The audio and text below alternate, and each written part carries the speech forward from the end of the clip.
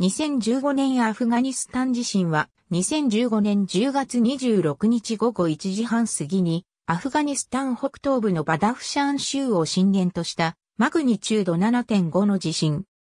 震源はアフガニスタンのカブールから北東方向でおよそ 254km の位置にあり、その深さはおよそ231キロ。今回の地震によってアフガニスタンに加え、パキスタンシアールコートやウズベキスタンナボイ、インドジャンムーと広範囲にわたって揺れが感じられた。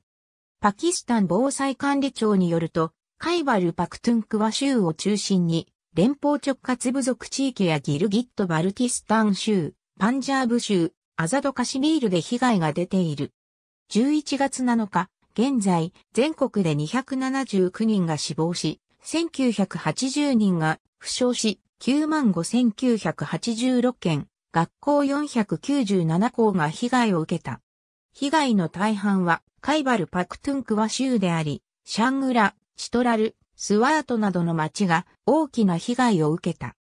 一方、アフガニスタンの北部では、タハール州の学校で女子生徒たちが避難しようとして将棋倒しになり、10月27日にアシュラフ・ガニー大統領は9つの州で死亡115人、負傷538人、家屋7630件、学校12校、モスク17件、オフィスビル20件の被害と発表した。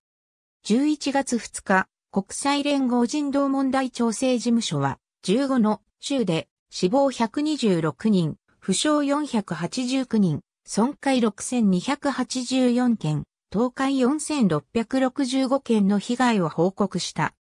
報告によると物的損害は震源地のバダフシャン州が多く、人的損害はクナル州、タハル州、ナンガルハール州が多いようである。ありがとうございます。